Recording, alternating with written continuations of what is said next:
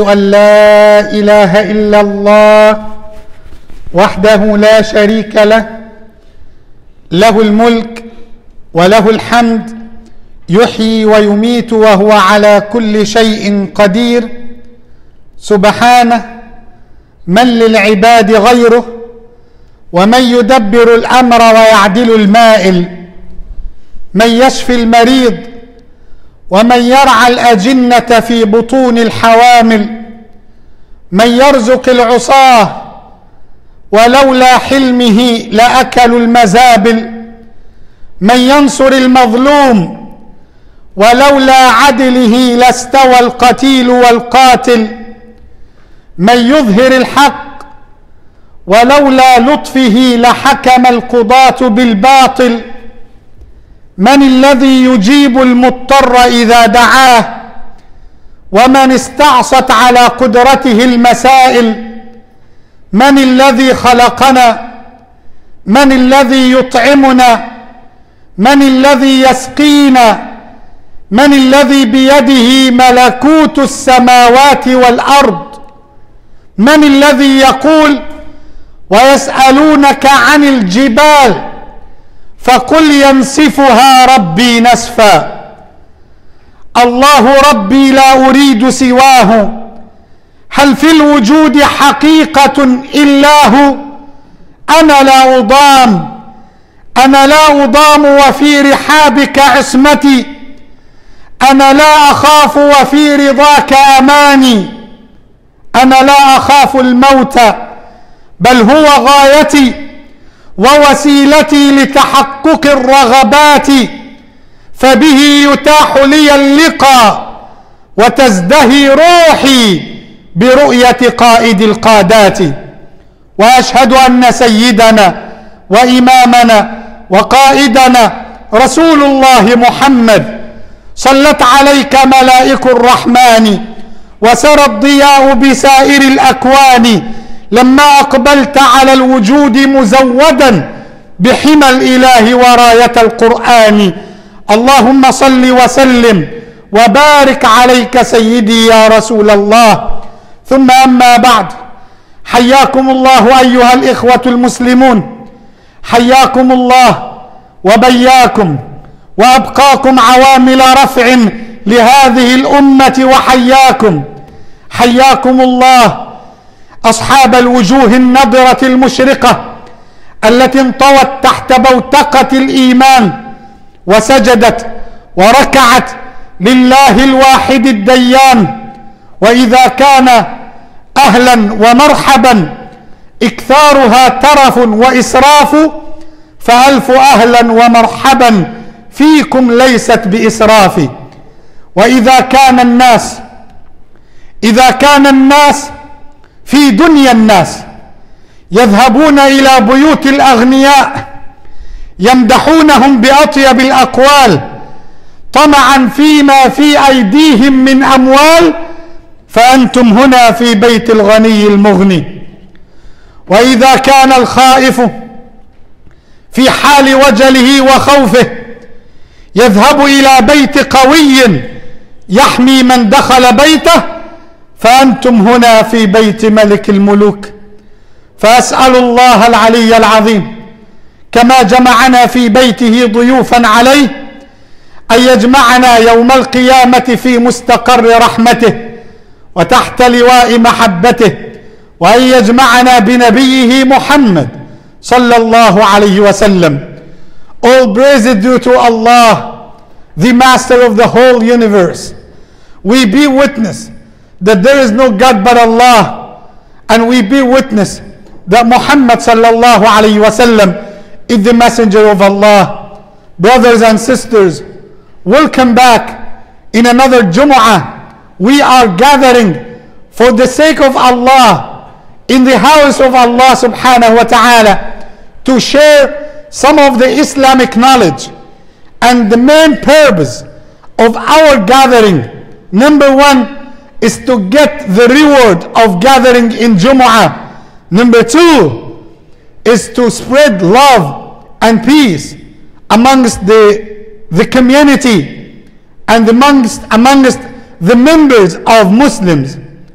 And also, number three, one of the purpose is to gain and to learn some of the Islamic teachings to charge our batteries for another week, for another time, to be able to worship Allah subhanahu wa ta'ala and to feel that we have a good connection, a good relationship with Allah subhanahu wa ta'ala and with the sunnah of Rasulullah sallallahu alayhi wasallam. Just today wanted to share with you one ayah in the Quran. And the ayah came within the context, within the story of Ibrahim alayhi salam. Allah subhanahu wa ta'ala give us the prescription in the Quran to relieve our pain, to relieve our troubles, to take care of our problems. So Allah subhanahu wa ta'ala wrote down the prescription in the Quran and you have the decision whether to take it or to leave it. And this is the brief message in the Quran. And let's summarize what we have in our life. The khutbah of Jumu'ah cannot be separated on our reality or cannot be different in our life about our life. It has to be matched with our needs, with our demands, what exactly we are asking for. Allah subhanahu wa ta'ala, when He created us, He created us for a certain purpose to worship Him subhanahu wa ta'ala and to come close to Him. But He gave us different means, different ways to live in this life. So He made it easy for you to have a relationship with a wife under the umbrella of Islam to marry and to have that relationship in a halal way. Also, He made it easy for you to earn and to have the money to help you to have a good relationship with Allah. And our Islam, our Islam, the word Islam comes from salam, comes from salama. He submitted. He had the peace. So the Islam is the religion of peace. Our greeting is Assalamu alaikum wa rahmatullahi wa barakatuh. To spread peace everywhere. To have the inner peace and the outer peace. But when it comes to the reality, nowadays, we have many people don't feel that kind of peace inside their hearts. They are always worried about something. They are always waiting for something. They are always searching about something, looking for something. And we have many, many issues in our life. And many questions comes to me that Imam I cannot have that kind of safety and peace of mind. I don't have the inner peace. And if you analyze what you have in your life, you will find out that most of the Muslims nowadays are looking for something to keep them busy and they are looking for happiness, for peace everywhere. Everywhere outside the masjid or outside the relationship with, with Allah subhanahu wa ta'ala. They are looking for peace. Even for the inner peace, in many things far away from what Allah already prescribed in the Quran. And let's give you example. What is in our minds that I need to work to get money, to have everything. And subhanallah, it takes step after step, time after time, maybe year after year. In 2019, you are looking now for something. In 2006, in 2010, you were lucky, you were looking for something different. And every step, every period, you are saying to yourself, I wish if I got, for example, if I got this house. I wish if I got this car. I wish if I got this uh, this uh, uh, girl. I wish if I got this college. I wish if I got this money. I wish if I got this house nearest to the to the river. I wish if I if I got this boat. I wish if I got this gold. I wish if I got this, you know, looking for what? You are looking for what? For peace? For happiness? Allah subhanahu wa ta'ala gave you the, the prescription in the Quran. So let's go to the Quran and let's check some, just one of the verses in the Quran. Allah said, الذين آمنوا ولم يلبسوا إيمانهم بظلم أولئك لهم الأمن الله أكبر Those people who have believed in Allah and they did not replace their faith with wrongdoing, they will get peace. So, where is the peace? In your relationship with Allah. There is a connection between Islam, between faith and peace. We cannot get peace without a relationship with Allah. But sometimes, sometimes the shaitan plays with our minds. How many of us, how many of us have the dream to pray Jumu'ah, next Jumu'ah in the Masjid al-Haram? How many of us have the dream to pray Fajr in the Masjid al-Nabawi inside the Rawdah of Rasulullah sallallahu alayhi wasallam. How many of us? All of us. But we have many people, many Muslims, they wish, but they don't come even to their local masjid. How you will reach to the Rawdah and you leave your masjid? How you are asking Allah to give you Hajj and you didn't establish prayer between you and Allah. The you cannot buy it. The inner peace. You cannot purchase it from any market. And check it by yourself. Search on Google. Go to Amazon. Go to drive to Walmart. Ask them, do you have peace? You can buy the food. You can buy the food. You can buy the best house. But you cannot purchase, you cannot buy the peace. That is why, wallahi, it is not related to the money.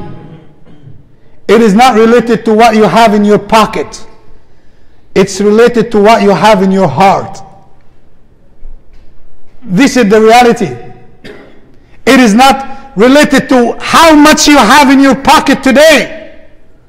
And maybe you have a poor man, according to our terms, he is poor, but he comes to the masjid, recites Quran, developing a, a good deed between him and Allah. He has a secret, secret deed between him and Allah, and he has that inner peace. He can sleep. We have many Muslims cannot sleep. They spend one hour, one hour and a half thinking about the future. I need to earn that much of money. I need to get that car. I need to buy that house. If I bought that house, I would be happy. If I got this car, I will have the peace. But the Quran said something different. Do you believe in Allah? Do you believe in the Quran? Allah said, أُولَٰئِكَ لَهُمُ الْأَمْنِ They will have the peace. And the peace here is general. And they will get the inner peace. The peace of the heart. They can sleep if they have a relationship with Allah. And that is why Rasulullah sallallahu alayhi wasallam many times the Sahaba asked him, How can I get that peace in my heart? Maybe I have money, but I cannot feel happiness. I cannot feel peace. I'm always busy. I'm feeling work. And it can be just by a good relationship with Allah. And I'm telling you, and inshallah, I will remind you, maybe next year, try as much as you can. Try other means, other ways to get the peace. I swear by Allah, you will never get it without a relationship, a good relation, a solid relationship with Allah. This is the reality. And that is why in Islam, every pillar in Islam brings you to peace. What is the first pillar? Is to sit, testify that there is no God but Allah. And Muhammad sallallahu alaihi wasallam is the messenger of Allah. What is the second pillar? Is to establish the prayer. And what the prayer means. When you come close to Allah, when you put your forehead on the ground and you whisper to Allah subhanahu wa ta'ala and you talk with Allah and you try to, to, to tell Him about everything, you will feel the peace, the tranquility, you will feel the inner peace, you will have the satisfaction, you will feel that love filling your heart. Do you have empty space here in your heart? Do you feel it? That you have empty space? More to fill that space with money, the fake happiness, with a car, with a delicious meal, with a picnic outside, with a trip outside the country. He tries to fill that with a fake pleasure. But the real pleasure when you come close to Allah. Rasulullah sallallahu alayhi wasallam. Allah revealed this ayah to him. And this ayah, almost to you memorize it. الذين آمنوا وتطمئن قلوبهم بذكر الله ألا بذكر الله تطمئن القلوب Subhanallah. Those people who have peace in their hearts through what? Through the remembering of Allah. Indeed, Allah said that. Indeed, for sure, you will get that peace, you will get the tranquility through the remembering of Allah subhanahu wa ta'ala. So what is what is the prescription of today? Have a good relationship with Allah try to establish the prayer. You know one of the one of the meanings of salah, salah. You know what does it mean? Salah. Salah comes from sila. Sila means the connection. The connection with Allah. Not only to come to Jumu'ah, to attend at the last minute in khutbah, and just, you know, to take the two rak'ahs and alhamdulillah, I have fulfilled my duty of the week. Salamu alaikum. Where you, where I'm waiting you for the next Ramadan, next Jumu'ah inshallah. So what about during the week? What about Saturday, Sunday, Monday? And mashallah, we have lectures every day. No, Imam, I'm sorry. I'm busy with what? With collecting money, with my job. Otherwise, they will fire me. Try to establish. Don't feel that worry. If you need to have peace in your mind, the heart, wallahi, it cannot be with, with collecting the money, with being busy. And I know some people, and I'm sorry, unfortunately, we have some of the Muslims are doing that. To feel peace, they keep themselves busy with haram things. They are visiting the, the, the bad, you know, places, the bars. They keep themselves on drugs. Why? To forget and to have entertainment. Or someone taking the entertainment with a wife or with a, a lady through haram way and he thinks that he can get the inner peace by that way. Inner peace in two sajdas at night for the sake of Allah. Inner peace by reciting Quran. Inner peace by remembering Allah, by, have, by having dhikr. We are Muslims. Our deen, our religion is the religion of peace. Our greeting alaykum. Peace be upon you. And not only in the dunya, but this is the greeting in the akhirah as well. In the hereafter, Allah said, تحيتهم فيها salam.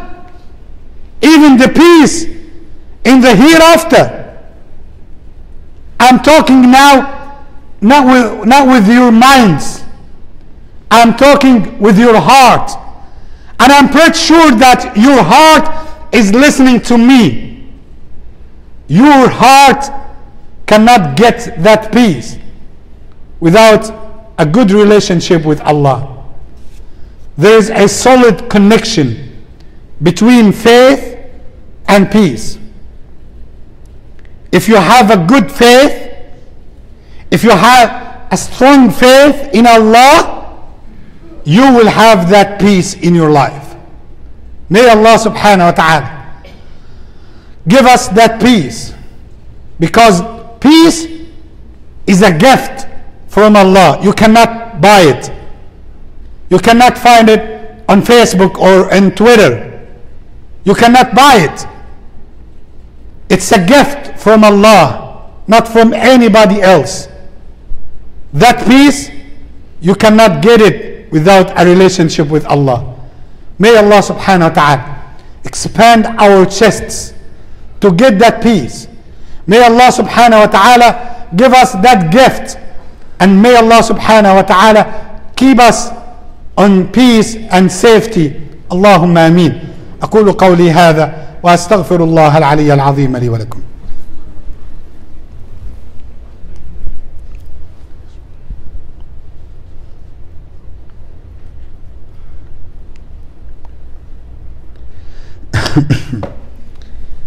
إن الحمد لله نحمده ونستعينه ونستغفره وأعوذ بالله من شرور أنفسنا وسيئات أعمالنا. من يهده الله فهو المهتد ومن يضلل فلن تجد له وليا مرشدا. وأشهد أن لا إله إلا الله وحده لا شريك له وأشهد أن سيدنا محمدا عبد الله ورسوله. اللهم صل وسلم وبارك عليك سيدي يا رسول الله. The inner peace and the outer peace.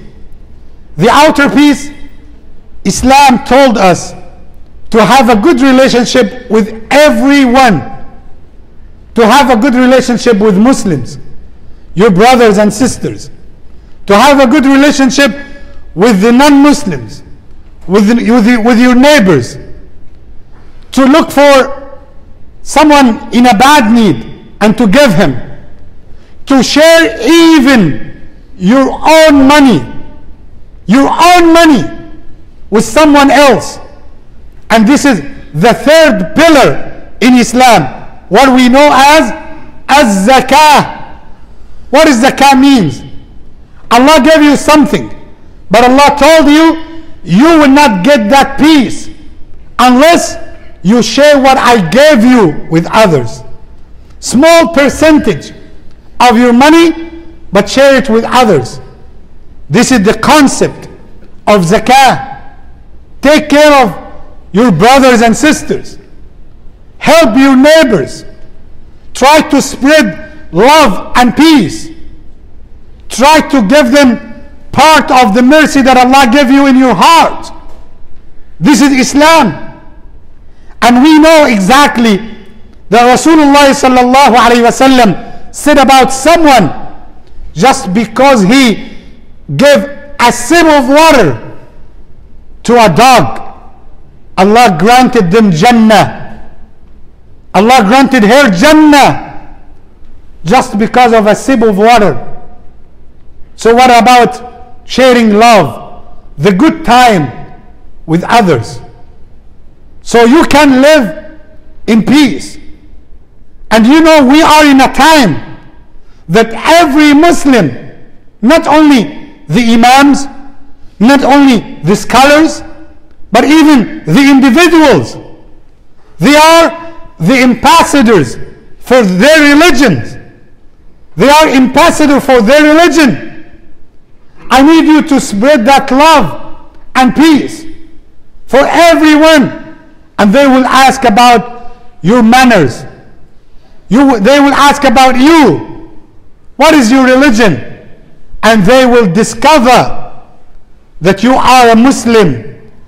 And this is the teachings of Islam. Islam means salam, peace. If you, if you want inner peace and outer peace, come close to Allah. Come close to the masjid. Ask about the lectures. Try to attend. Try to come and join us in the halaqah for the recitation of the Quran. Try to get some of the knowledge and bring your children. This is something, wallahi, very dangerous. We are thinking about our children just in the school. You drive, you take them, you take them to the school. Am I right? You are, you are taking them to the school every day. But did you try to think to take them one day to the masjid? To the masjid? And you will see the difference. Be, believe me. And teach them. Oh my son, you will not you will not get get the peace through your certificate or through the money. But when you have a good relationship with Allah this is one of the secrets. I said that for the sake of Allah. Allah will ask me for by the day of judgment you was the imam for this masjid. Why you didn't tell them the truth?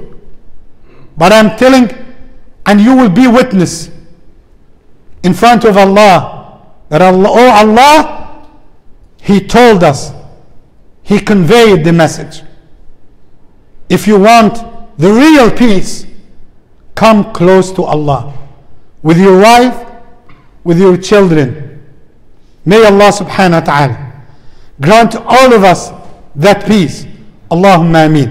One more thing, please. Just wanted to encourage and to urge our brothers to help in the masjid, inshallah. Your masjid needs your donation, inshallah. We will have one of our brothers, inshallah, inside the masjid, nearest to the gate. So please try to donate and to share some of what Allah subhanahu wa ta'ala gave you to help your masjid, inshallah. جزاكم الله خيرا اللهم اغفر لنا ذنوبنا وإسرافنا في أمرنا اللهم ثبت أقدامنا اللهم توفنا مسلمين وألحقنا بالصالحين واحشرنا يا ربنا في زمرة خير المرسلين. اللهم يا ربنا أكرمنا ولا تهنا وأعزنا ولا تذلنا اللهم ارفعنا ولا تضعنا إنك على كل شيء قدير وأقم الصلاة قوموا إلى صلاتكم يرحمكم الله.